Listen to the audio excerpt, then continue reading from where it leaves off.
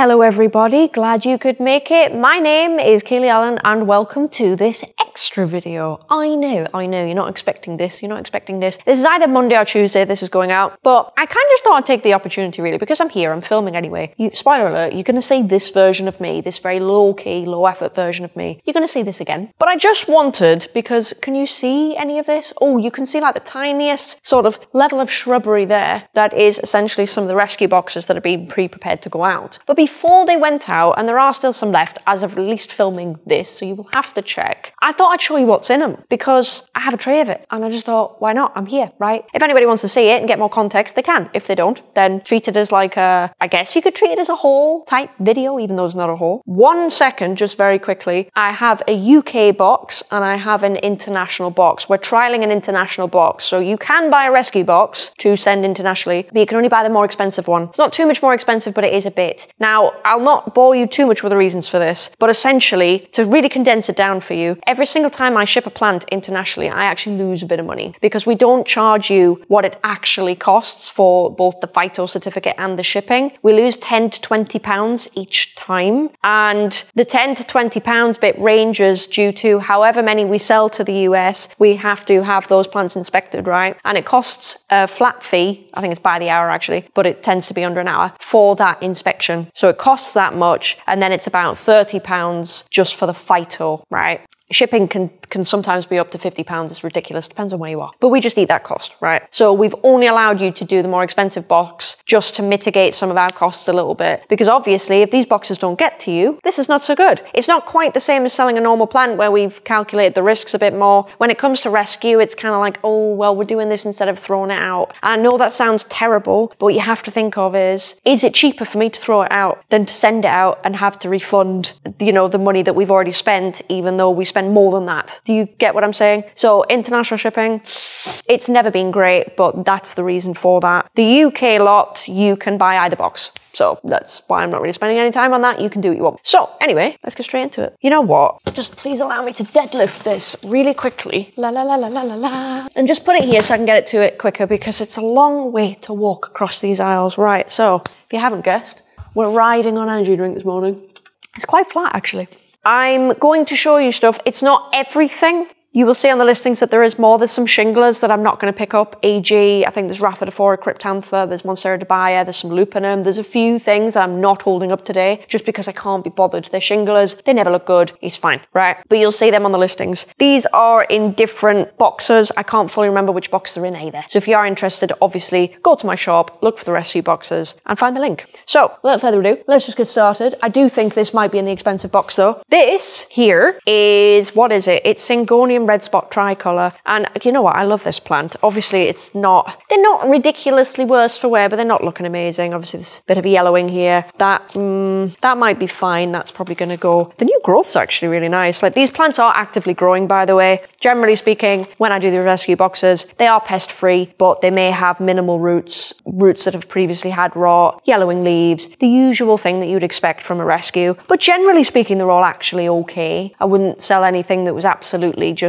on its last legs or anything. So you know what you're getting. So in terms of growth, this one, It's actually quite nice, to be honest. It's very, very nice indeed. But there is a little bit of yellowing here, which isn't great. It will be fine though, as to be honest, the new leaf's really quite nice. Just started to get mature, I should probably mention that, this particular one. They're not all like that, but this one is. We're now getting it point where it's breaking into three. And I don't know if a lot of people know that about Syngonium. When they get mature, they change shape quite a bit. So obviously they start out like this, and this is how everyone tends to love them and start out with them. But they will actually end up doing this. So FYI, if you didn't know, if you want this out of your plants, I do suggest you maybe pull them, let them climb up something. Um, if you're not bothered, then well, you can only really keep them like this so long, I suppose, because they climb anyway. I've done this before. You could keep trimming them and then just bushing them around. It depends. This is definitely more of a climby one, but it is quite dense. I do have a couple of other Syngonium here that are arguably more dense than this, and you can keep them as a bush a little bit better. Kind of depends what you want. But if you want something that's pink and white, that might be something you're interested in. And as I say, you're going to get some yellowing, you're going to get some gnarliness, but generally, if it was me and I bought this, to be honest, and there's nothing actually wrong with this leaf, but it just annoys me. So I'd probably take these two off. Heck, I might even take that off and just let it let it be. So keep three leaves on it. Don't wrong, that's total overkill. There's nothing actually wrong with this at all. Even this one is fine. I'm just a bit weird, and I sometimes shape bothers me a lot. Do you know what I mean?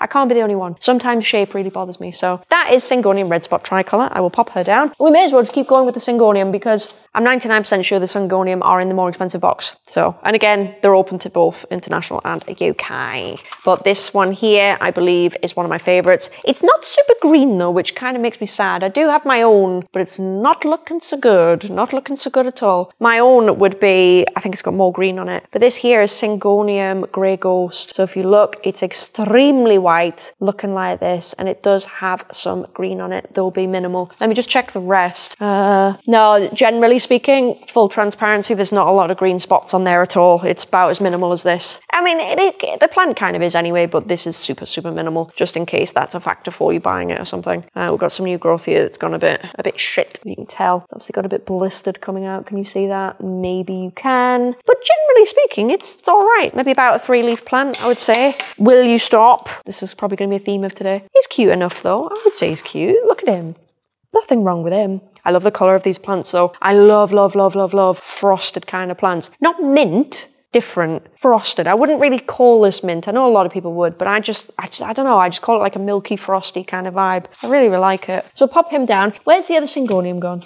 Now I really like these plants. This is just it's just gnarly. I mean, it's it's healthy enough. It's just gnarly as hell. It's just all over the place. This here is what I believe to be Syngonium panda. I'll just show you this here, like so. Is it going to focus? Yes. That's the general vibe of what you're getting like this. I think they're all of this, you know, generally variegated standard. Let me check for you because I've tried to pick things out as equal as possible. Obviously, the nature of what this is, they can't always be super equal because they're rescue like rehab plants and you just can't do that. Generally speaking, there are some with more variegation, some with slightly less. So this is probably average. And I do try and pick things out that are pretty much representative of what you get. So there's another one right there. Looks janky, but to be honest, if you could just train it, you get a really pretty bunch out of it because that is pretty. There's nothing really wrong with him, to be honest. He's very wobbly in his pot, though. Let me pop him down. Oh my god, literally. If I could remember what else was in the expensive one, that would be great, but I can't. It could be, you know what, this, ah, oh, that might be in the cheap one. Let's pick this up. You'll know by watching this which one this is in.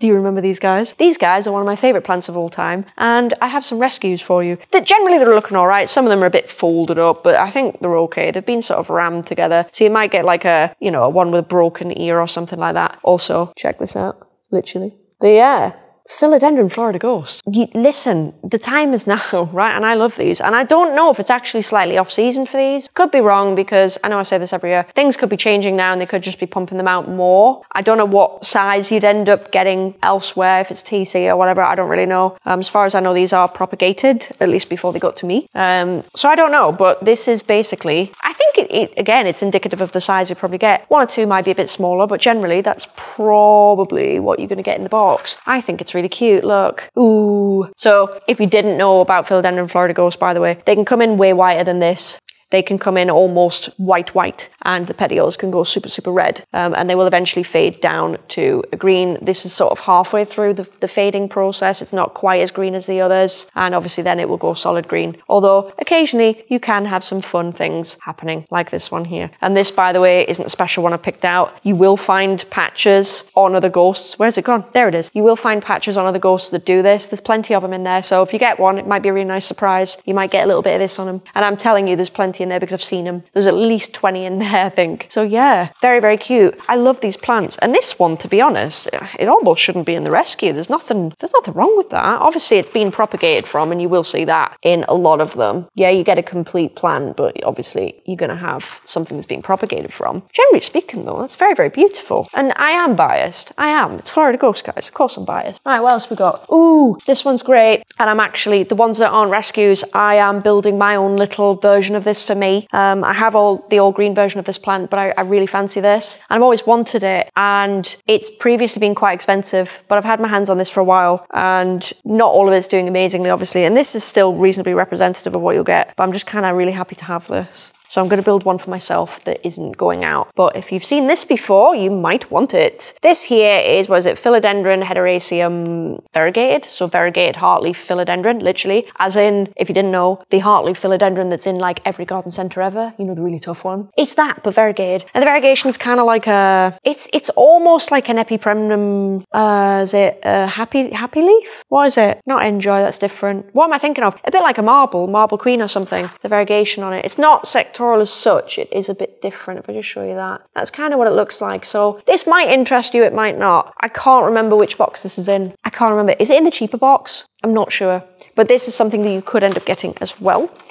Oh, onto another one that used to be a favourite of mine. And I'm not saying it's not anymore. I think just once you've dealt with so many of them, everything gets you eventually, guys. If you see 200 of something, you're going to love them, but you're going to love them a bit less. Just trust me. It's just a, it's, uh, what would I call it? It's like a parallel of a job. It is what it is. But I still love this plant though, make no mistakes. And these, these plants will also come with little bits on them sometimes as well, I've noticed. Because I kept some back a couple of years ago and I was like, oh my God, they're variegated. They aren't. They just have some weird qualities that make them look that way. A little bit like some of those ghosts. But anyway, this is, what is it? Philodendron. Why, why can't I think? Is it Bipennifolium aurea? My, my head's just gone completely blank there because they call it a, well, the variegated one they call a golden violin. Is it bipennifolium? Is it? I want to say, yeah, it is. I can't remember the name of this. It's like my mind's gone completely blank. I'm calling it bipennifolium aurea though. Um, and it's really, really nice. And it, it will, it will make you question yourself. For example, if I could show you this cataphyll here, I really hope it does focus on it. But can you see that it's kind of like two different colors? So the, this is pretty much the size of the plant you'll get. Again, a couple will be smaller, but most of them are this size. Um, you will find some petioles have been cut is what is, c'est la vie. They still look good though. Um, but the main, the main, what's the word? The main, not selling point. I don't know. The tea on this plant is that it comes in and the leaves do come in this yellow color. This isn't unhealthy. This is how it comes in. So they come in this yellow color and they fade down. And this generally is the shape of the leaf that you will get. Oh, there's a little splodge on that one. Look, that's very cute. There's little splodges on a couple of them, but that's what you get. Sorry, this is very, very wobbly in the pot and there's leca going everywhere. That is kind of the shape you end up with. And I wouldn't say this was super mature, but it's mature enough to prove the point anyway. That's what he looks like. He's very nice as well. You might want, to be honest, I'd probably pull some of these, or just to be fair, you could put it in a deeper pot than that and it'd probably be fine. But some of these are a little bit wobbly. Obviously, needless to say, when you get sent them, you'll get sent them bare root. So that is that. Now, these ones are a bit different. I got these in a while ago and I've done nothing with them and I don't really have the space for them. This is why these are going out. There's nothing necessarily wrong with them. And I actually, I'd never seen these plants before. This was a new one for me. I, I think it would have got in a haul, but there was like one plant that I got in that was new, I think. Am I right? Pretty much. So there was no point in doing it. So it just sort of passed me by and I didn't think about it. But these guys here, are what I think is philodendron is it McColley's fa- final finale? Can't remember. Um, they're actually all right, you know. They're really tough from what I can see. But have you seen this? This is actually quite sexy. So they're obviously in like a really chubby, stout, like rosette kind of formation. They have the most, quite honestly, the most gorgeous red veins. Look at that. Can I just say this? That looks amazing. The leaves are very, very, very leathery. Are they as leathery as Monstera? That is the question.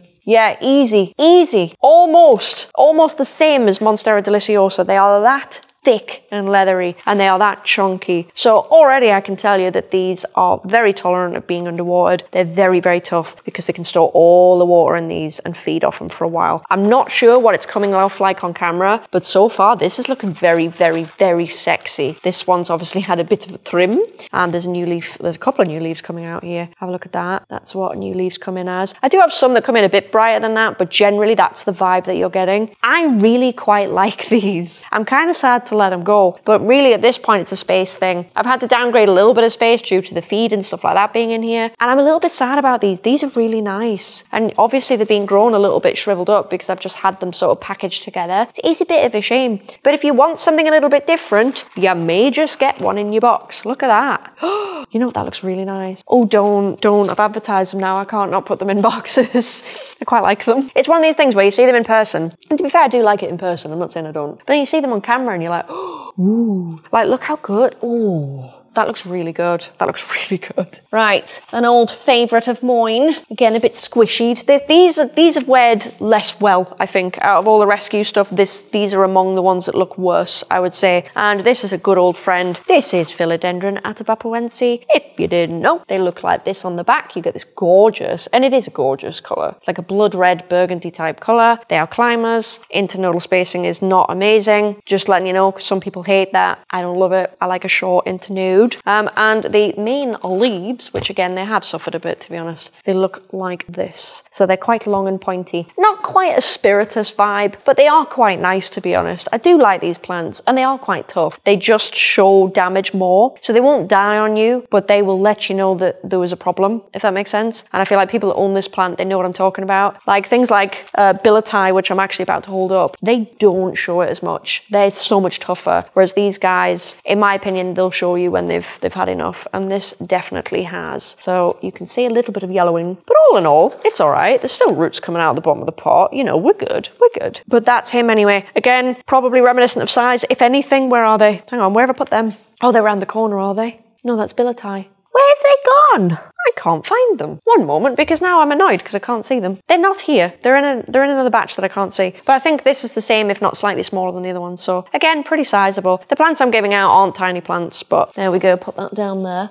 Oh, one of my old favourites. I used to have a variegated one of these years ago, and it was all right actually. I kind of regret getting rid of it, but everyone may remember if you've been with me long enough the great downsizing of like 2019 or wherever it was. Um, I just had to do these things, but these these these are all right. They they look quite good actually. These are very tough plants, but I think it's at the point now where I just have too many and they need to go. I have a couple of ba- uh, buckets of those, but these here that I'm showing you are philodendron moonlight, and they're very very cute. This is essentially what moonlight is. It's very, very similar vibe to the Bipennifolium aurea, but this stays really a lot lighter generally. Like they will never really go, the leaves will never go normal green colour. I can't articulate this at all. It stays lighter, it stays more limey. Generally, it's a very lime plant, and when the leaves come in, they will come in closer to a yellow like this. And they call it philodendron moonlight. And I am so sick now of leca. I have about 10 different balls just sort of waiting to trip me up down here. But that's him. This is very indicative of the size that you'll get right next to my head. Granted, I have a small head, but still, um, that's very indicative of the size you get. And you might get the odd yellow bit, but generally they're all pretty sturdy. The roots are okay, you know, no problems there. But I thought I'd show you him because he's very, very cute. What else do we have? We have a couple more yet, guys. And remember, this isn't even all that's on there. So if you want to have a look, there it is, because I know there's Dubia. There's Dubia, Cryptantha, um, and stuff like that in the more expensive box, but I'm not going to show you them because I can't really get to them. There's so many boxes. So this guy here, you know what? I really like this plant. I really like this plant, but it's it's it's tough. But it, I don't know. I don't know how to, to really talk about this plant. It is a very very tough plant. Obviously, it shows damage pretty well, but in terms of sizing up, this is actually a boy. If you look here, obviously I propagated from it. You can see it here, I propagated from it, but I'll have to literally hold this. It's all right. He's just, he's very imperfect. But if you look at how quickly he can actually size up without being um, pulled or anything, he's quite good at it actually, the little um, Philodendron gigas. What is not good at it is this guy here. Let me get him, although he's very cute. And this is the plant that I would argue most people do prefer I'm going to compare it to the Gigas because it seems like the apt thing to do on this video. Because again, you could get this too, and that is this guy here. This is Philodendron melanochrysum. This is Gigas. I know. Has anyone held them up in a similar size? I don't know. They are very similar. They are very, very similar if I can show you them there. So that's, this one I'm shaking now is melanochrysum. This one I'm shaking now is Gigas. Check them out. There's not a lot in it, is there? Now, there is when you look at the, is there when you look at the growth pattern? Not really, no. I'm lying again. I feel like if you want, if you want something that sizes up more, and I realize this isn't really a choice thing because you get what you get in the box, but I think if you want something that sizes up more, it's Gigas. And the shape of these does actually change. If you're happy with things sizing up less, it's Melano. Um, a lot of people prefer Melano, obviously. I mean, it's, it's beautiful plant. I can't knock it. Look how nice this is. In terms of the quality of what you're going to get, I'll tell you now, Gigas are probably going to be less than perfect. But then again, I have shown you something that is definitely less than perfect. You probably get these. So many of the Gigas I have are bigger than these, right? Let me try and get you one very, very quickly because I can see a huge one here. I just don't know if I can grab it. Give me one second, guys. Literally, literally look at this. Look at the size of that.